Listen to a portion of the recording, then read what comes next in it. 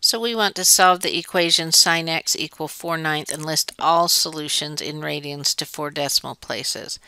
So as we think about this, the first thing I'm going to do is take the sine inverse of both sides, and that would leave me with x equals sine inverse of 4 ninths.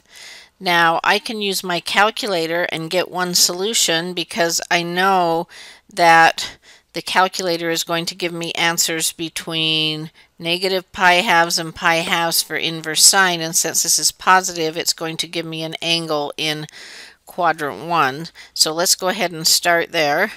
So I've got inverse sine of 4 divided by 9. And it looks like that's going to be to four decimal places 0.4606. So one of my solutions is 0.4606. Well, I need all solutions. And so I know there is another one on this one loop around the circle because there's a sine value here in quadrant 2. If I took that angle right there, it would have the same sine value as the one in quadrant 1. And to get that, it looks like it's this angle I got from quadrant 1 if I did pi and subtracted that angle because these two angles are the same size. So my second solution is going to come from taking pi and subtracting this angle.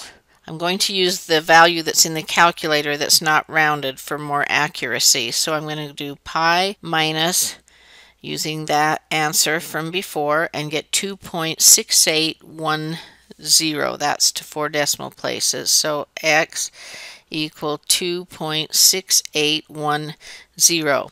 So those are two solutions, but this says I want all solutions and those are only solutions if we went one loop around the circle, but I could take this first solution and I could add 2 pi to it and get another solution, add another 2 pi and get another solution, subtract 2 pi and get a solution, and so forth. So what we're going to do is put plus 2 pi k, and this is where k is an integer and that would give me all solutions that landed in that first quadrant if I was thinking of loops around a circle. And then I'm going to get all solutions that would come from things in quadrant 2 here by adding 2 pi k.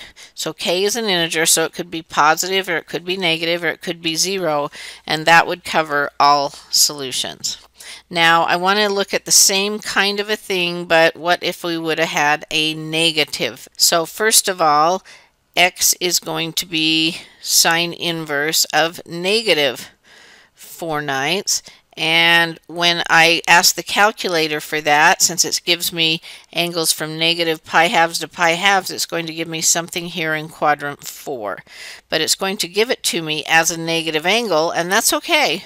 So let's go ahead, second or inverse sine of negative 4 divided by 9 and that gives me negative 0.4606. So one solution is x equal negative 0.4606 and that's because it didn't say how I had to have one of my angles and I'm after all of them. I can leave it like that. It doesn't have to be a positive angle and then I can add 2 pi k, and that will give me all solutions in quadrant 4 where the sine is negative, and then I'm going to say any angles in quadrant 3 have a negative sine value as well, and so if I took the size of this and I did pi and I added that angle, I would have a quadrant 3 angle and then I could do plus 2 pi k to get all of those. So I'm going to take pi and I'm going to subtract because it's in here as a negative and I want to add it. So I'm subtracting a negative so that it will become a positive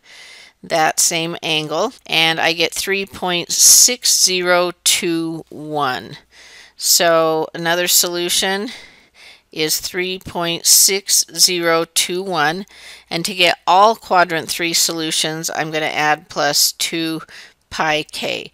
So thing to watch for in this is if it says a certain interval like 0 to 2 pi, you've just got to worry about, you know, one time around there. But if it says all solutions, you've got to consider multiple loops around. Or if you're thinking of this as a graph, how it's periodic and repeats itself, and the 2 pi k will cover those.